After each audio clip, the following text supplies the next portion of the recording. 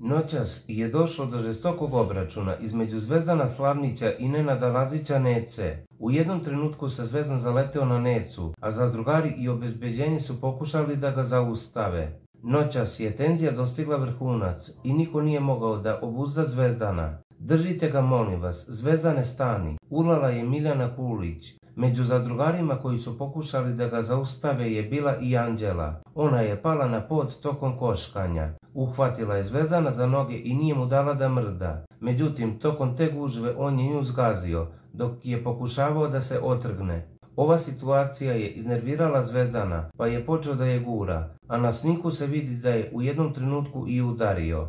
Za još vesti o zadrugarima pratite kanal Centar dešavanja.